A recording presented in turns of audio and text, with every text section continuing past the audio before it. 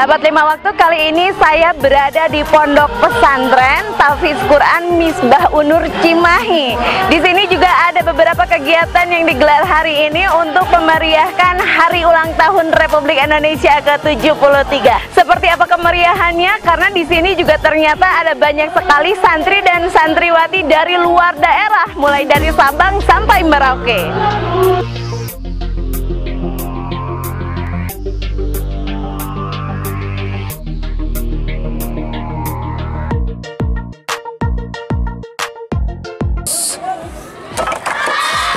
Sahabat lima waktu untuk ikut memeriahkan Hari Kemerdekaan Indonesia yang ke-73 Pondok Pesantren Tafid Quran Misbahun Nur Cimahi juga menggelar sebuah acara dan sekarang ini saya sudah bersama Ustadz Badrus Salam beliau ini adalah pimpinan pondok ya Pak ya, ya. Assalamualaikum Pak Ustadz Assalamualaikum warahmatullahi wabarakatuh Oke Pak Ustadz ini meriah juga ya ternyata tadi dari awal gerbang masuk sudah ada ornamen-ornamen yang juga ini bisa dijadikan sebagai ikut memeriahkan kemerdekaan Indonesia ya Pak Ustadz ya. ya? Betul betul. Oke, apa apa saja agenda hari ini?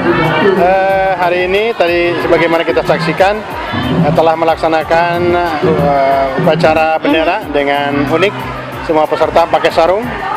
Yang kedua ini sedang peragaan uh, pencak silat dan merpati putih mm -hmm. itu dalam rangka mengasah keterampilan mereka ya. terutama yeah. dalam bidang uh, pertahanan diri. Mm -hmm.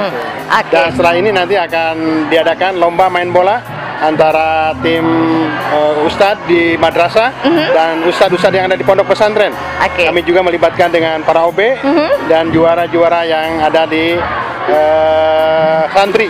Oke, jadi semua terlibat, ya, terlibat ya seperti semua. itu. Nah, kegiatan seperti ini apakah memang setiap tahun dilaksanakan setiap kemerdekaan Indonesia? Uh, secara khusus baru tiga tahun ini. Baru tiga tahun ini. Oke. Okay. Nah, sebenarnya pesan apa yang ingin disampaikan kepada santri dan santriwati yang ada di sini? Uh, kami berikan pesan. Kenapa pakai sarung? Mhm. -huh. Pertama untuk uh, memperlihatkan identitas santri. Mhm. -huh. Nah, kenapa dengan santri? Karena uh, kemerdekaan ini pun bisa diraih dan insya Allah kita pertahankan mhm. -huh. dan terlibat di dalamnya adalah santri. Okay. Jadi santri punya andil di dalamnya dan oleh karenanya kita harus ikut uh, mengisi kemerdekaan itu dengan kerja keras dan belajar yang sungguh-sungguh. Oke, Pak Ustadz ini kita juga pengen tahu mengenai pesantren Tafid Quran Misbahun Nur ini ya Pak Ustadz. Ini sudah berapa lama berada di kota Cimahi? Ini tahun ke-8 kita. Tahun ke-8? Nah, tahun okay. 2010 berdiri, uh mhm. -huh. sekarang udah ada sekitar 666 anak didik mulai di tingkat SLTP yang di sini disebut dengan sanawiyah uh mhm. -huh. dan tingkat SLTA yang di sini disebut adalah aliyah dan santrinya itu dari berbagai daerah di Indonesia, mulai dari Papua, Aceh, Kalimantan, oh, iya? Kalimantan termasuk Sulawesi, Ternate semuanya, Waduh. termasuk anak-anak serdadu banyak yang anak-anak serdadu, oke, ternyata banyak juga dan ini sudah menyebar juga ya. ya. Menyebar. Apa saja sih yang dipelajari di pesantren ini? Uh, secara umum kami seperti dengan yang lain uh-huh. uh, menggunakan kurikulum nasional, hanya tambahannya ada muatan tahfidz yang masuk ke uh, jam pelajaran di sekolah. Uh -huh. Selain itu, sebelum subuh mereka uh, belajar sendiri. Uh -huh. uh, setelah subuh mereka belajar Quran juga dengan ustadz-ustadznya. Uh -huh. Jam 7 ke sana sampai jam satu mereka belajar di sekolah dan di dalamnya juga ada tafid. Sore hari kitab kuning, setelah maghrib ngaji lagi dan setelah isya ngaji lagi. Dan jam 10 malam baru mereka istirahat. Oke, jadi ini memang full ya kegiatannya.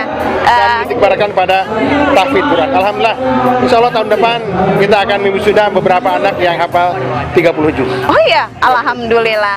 Ini kan pesantren sudah berjalan 8 tahun. Sudah memunculkan apa apalagi selain um, melahirkan santri-santri yang sudah hafal 30 juz ini. Alumni kita belum kembali, mereka banyak ke luar negeri, oh, iya? terutama ke uh, Turki.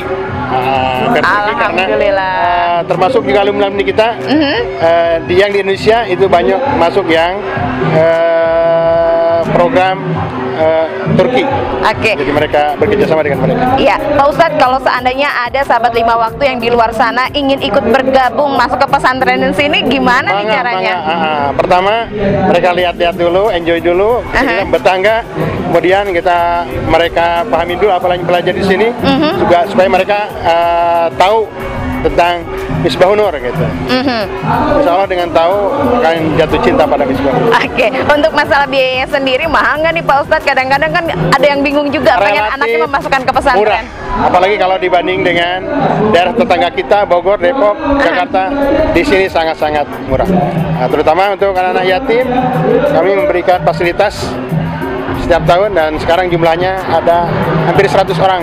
yatim. 100 orang anak yatim yang Anak dibina yatim juga. di. Oke. Kenapa? Karena sejarahnya kami ini membangun ini adalah untuk yatim tadinya. Oh. Untuk yatim. Makanya kami beli kendaraan untuk keluar sekolah keluar. Tapi ternyata kenyataannya mereka sekolah di sini. Karena sejarah ini yatim, maka yatim harus dinomorsatukan. Oke, untuk- karena memang niat dari awalnya juga sudah baik, Yatim. akhirnya menyebar dan hasilnya juga baik sekali ya. Berkah yatim. Berkah yatim. Oke, hatur nuhun Pak Ya, mangga, mangga, mangga. Sahabat lima waktu kali ini saya bersama adik-adik santriwati di sini ya. Ini ada adik Alda dan juga adik Nada ya. Ada yang menarik nih kalau misalnya adik Alda ini adalah santriwati yang memang sengaja datang ke Cimahi jauh-jauh ini dari Papua dari Papua. Sementara untuk adik Aldanya sendiri dari mana nih? di Aceh Dari Aceh luar biasa sekali kalian. Udah lama eh, mempelajari agama di sini?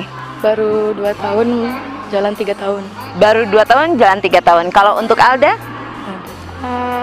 baru masuk Baru masuk, oke. Yang sudah dua tahun, apa yang sudah eh, dirasakan?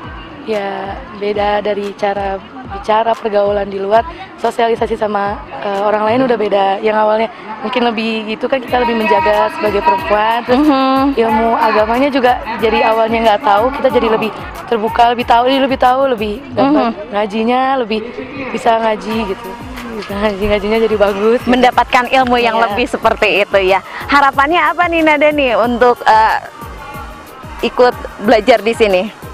Harapannya?